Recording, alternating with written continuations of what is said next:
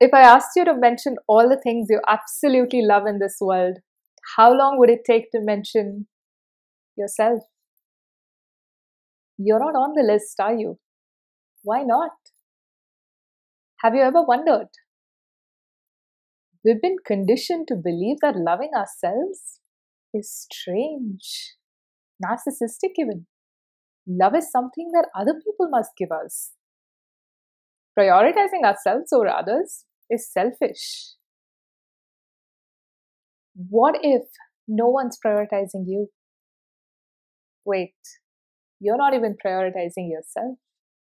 Why would anyone else?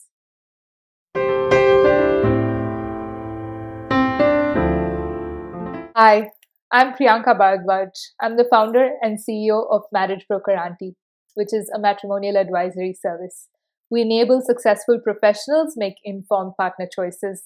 If you are single and looking to get married, Marriage Broker Auntie is absolutely the place you must start your relationship.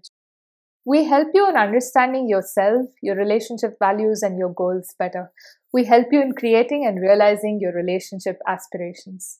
Usually on this channel, we talk about love, relationships, marriages. But in today's episode, we're going to talk about something very special. We're going to talk about self love. Yes, you heard that right. Self love and why it is so important.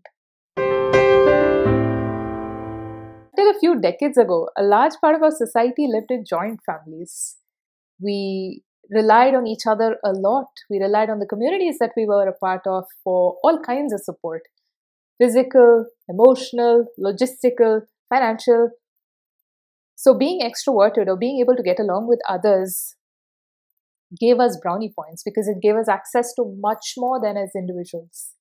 But today, you don't need to know a friendly driver to be able to get a ride whenever you want. You don't even need to attend parties to be able to meet interesting people.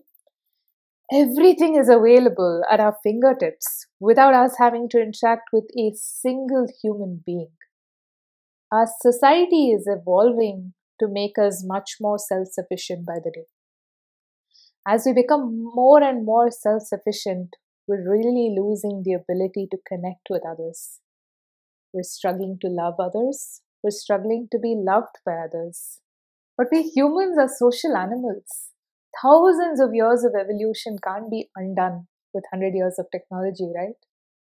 How do we then, with our very limited tools and skill sets as individuals, satisfy our very carnal need to connect with another human being? Start by loving yourself and being loved by yourself.